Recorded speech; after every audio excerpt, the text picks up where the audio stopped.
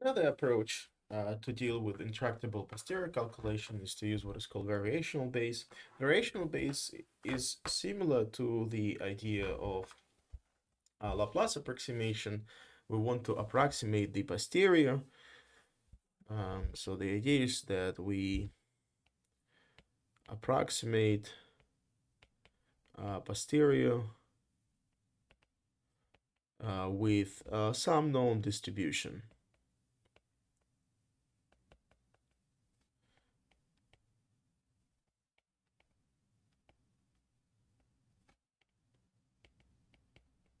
And we're gonna denote this uh, distribution by q of uh, theta.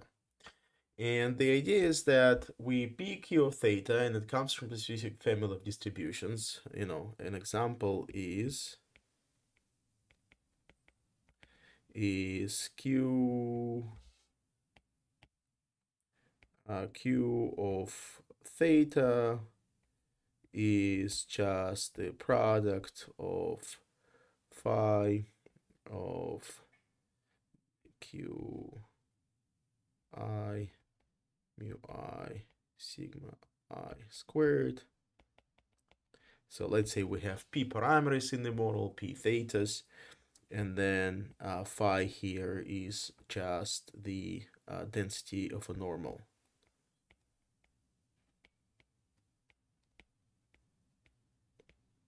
So essentially, in this case, we assume that the posterior distribution can be approximated by the product of univariate normals. Uh, here we ignore the correlation structure if it exists uh, among the parameters we make the simplification. But the benefit uh, of making this simplification is that everything becomes tractable and calculatable. And the specific example is called mean field inference. When the product of univariate normals is used. Okay, so let's uh, let's look at how we're gonna find this uh, function uh, q of theta, uh, this density function q of theta. Um, so we want this q to be as close as possible to the posterior, and we're gonna measure this closeness using Kullback-Leibler divergence. Um, so we're going to measure the KL divergence from Q to the posterior, and then we're going to minimize this KL divergence. And the definition of KL divergence is given here. So it measures basically how much uh, Q misrepresents uh, P uh, of theta given Y. So KL measures how much Q misrepresents.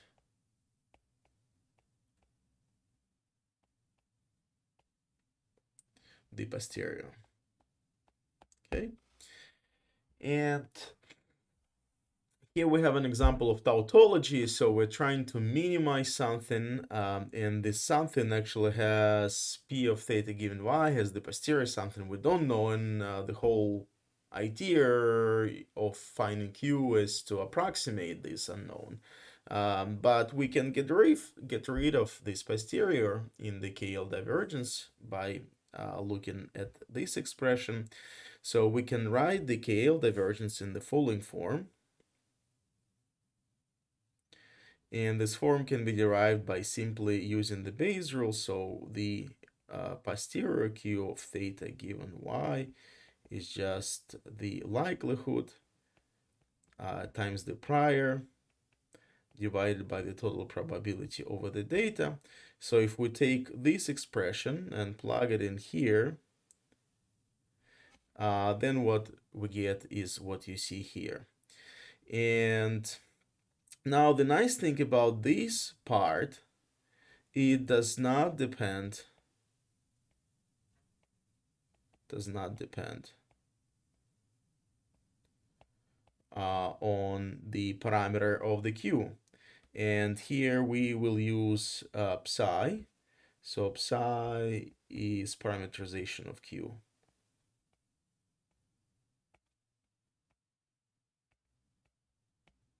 So this is a set of parameters that describe this uh, density function q. Okay, so now let's assume that Q belongs to some known family and it parameterized by parameters uh, theta. And we want to uh, we want to minimize the Kullback-Leibler divergence and instead of minimizing KL divergence, we're actually going to maximize this thing because you know minimizing this one is the same as maximizing uh, maximizing this part. And uh, this specific integral is called the lower bound uh, because it gives you a lower bound on the total probability. But it's it's not it's not very relevant. In any case, so we want to maximize this lower bound. Uh, this uh, integral over q of theta times the log of p of theta times p of y given theta divided by q of theta. And we're going to call uh, this whole function to be uh, h of theta. So what we want to maximize, we want to maximize the integral q of theta h of theta d theta, which is equal to this one. And um, we can write it down just as an expectation, right? So if this is a density function and this is just expectation with respect to uh, parameter uh, theta with respect to this density q of h of theta. So we have to maximize the expectation. And we're going to use uh, gradient descent, same approach as we as we did before. And in order to calculate or in order to run the gradient descent optimization algorithm, we need to calculate the gradient. So we need to calculate the gradient of, of this expectation, uh, expectation we take with respect to density Q of H of theta. Again, so theta just follow this uh, Q and Q is parameterized uh, by uh, the psi. And we take uh, sorry, by the phi. And we take the gradient with respect to this set of parameters phi. So we're trying to find the distribution q, which is as close as possible to the posterior. And now instead of solving the uh, integration problem, we have to solve the optimization problem. And the optimization problem is uh, maximize the expectation with respect to with respect to phi of expectation of h of theta and expectation is taken with respect to the parameter theta that follows distribution q. Uh, sorry, it's a little bit off the screen. Here we go.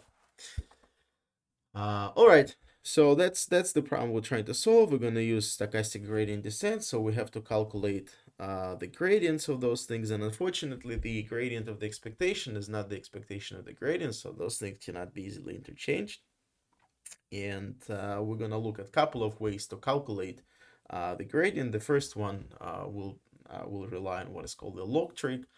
Uh, it's just a simple definition of the derivative of the logarithm it is the ratio of the derivative of the function uh, over the function.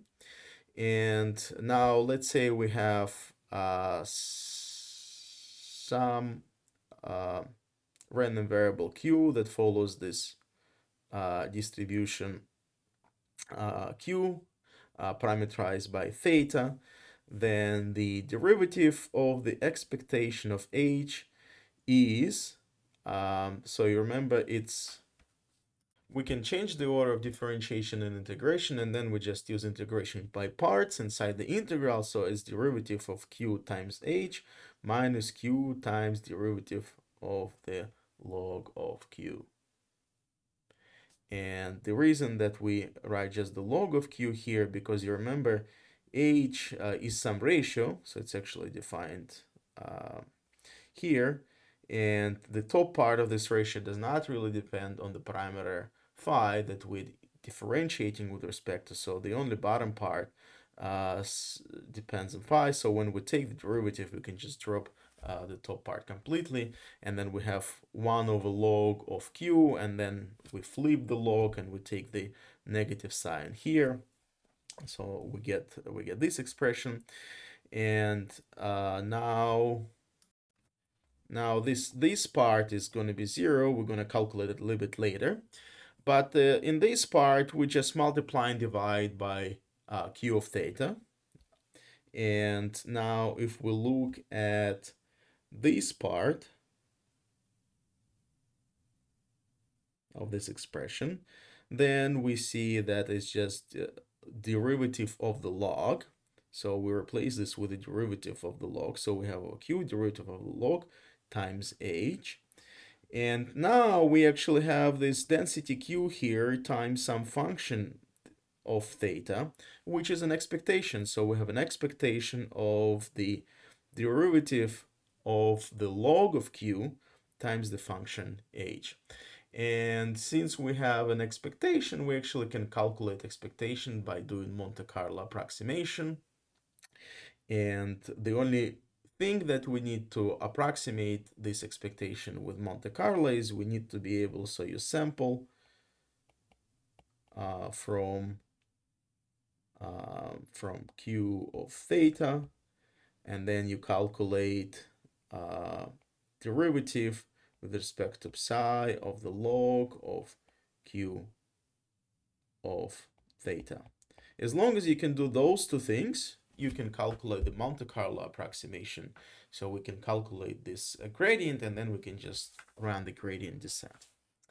Yet another way is to use what is called reparameterization trick. Reparameterization trick, you represent the q of theta as the deterministic function g, which depends on phi, your parameters of the key distribution q, and epsilon. And epsilon is a random variable that does not depend on theta.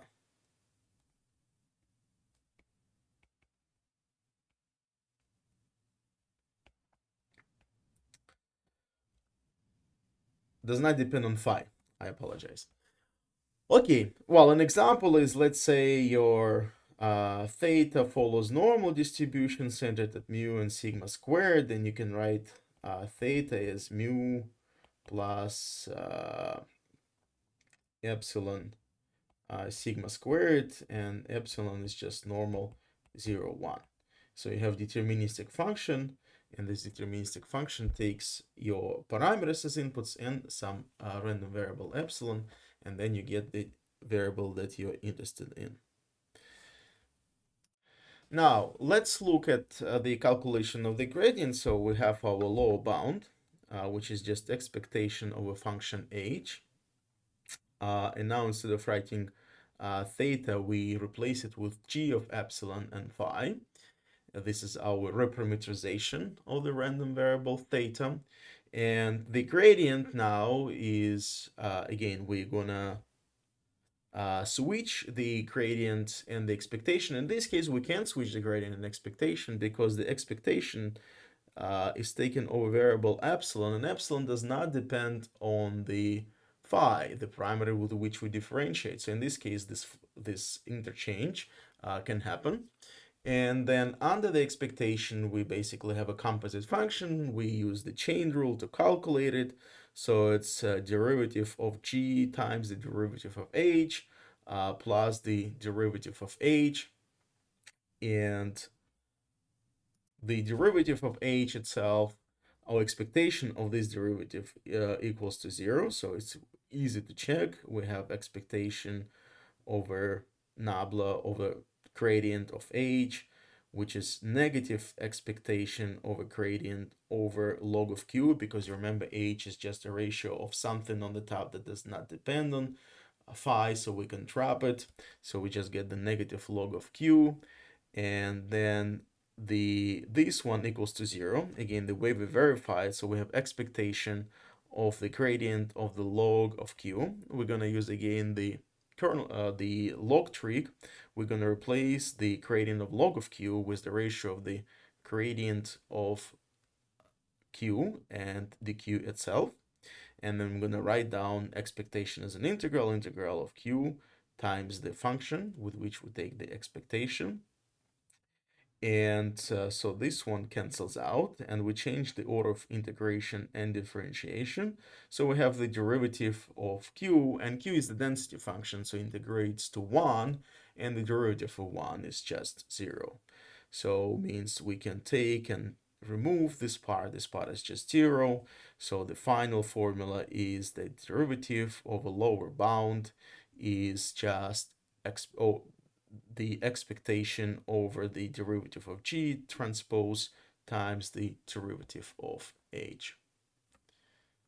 And again, we can approximate it using Monte Carlo approximation.